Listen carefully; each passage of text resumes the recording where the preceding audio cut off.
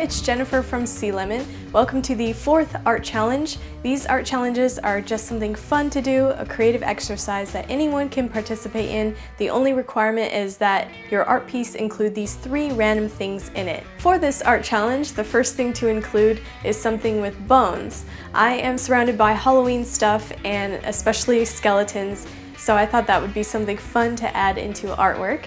And the next thing is something you guys have been requesting a lot, and that's glitter. And then the third thing is the color black.